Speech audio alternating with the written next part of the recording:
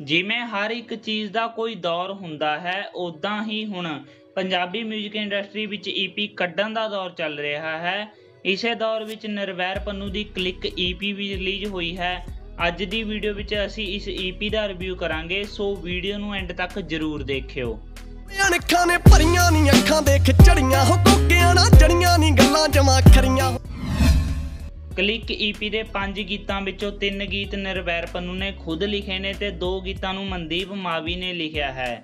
ਨਿਰਵੈਰ ਪੰਨੂ ਦੇ ਲਿਖੇ 4x4 ਤੇ ਜ਼ੁਲਫ ਸੁਣਨ ਵਿੱਚ ਕਾਫੀ ਫਰੈਸ਼ ਲੱਗਦੇ ਨੇ।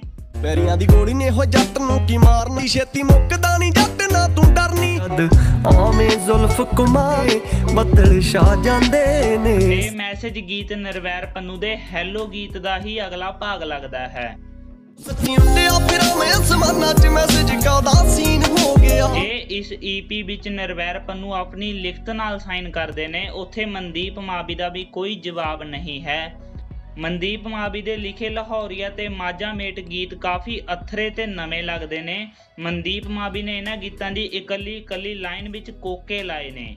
ਜਵੈਰੀਆਂ ਨੇ ਅਸਲਾ ਮਗਾਇਆ ਕਾਨਪੁਰੋਂ ਯਾਰ ਮਾਝੇ ਵਾਲੇ ਜੱਟ ਨੇ ਬੁਲਾਏ ਹੋਏ ਰਹੀ ਬਚਣਾ ਦੀ ਪੱਕੀ ਜੇ ਤੂੰ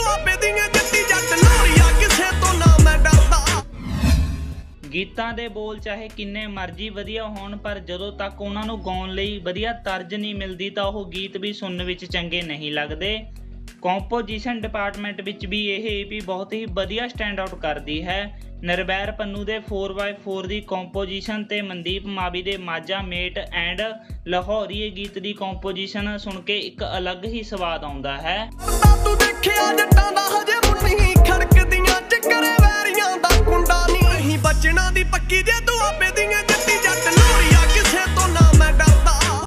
ਜ਼ੁਲਫ ਅਤੇ ਮੈਸੇਜ ਵਰਗੇ ਗੀਤਾਂ ਦੀ ਕੰਪੋਜੀਸ਼ਨ ਵੀ ਕਾਫੀ ਵਧੀਆ ਹੈ।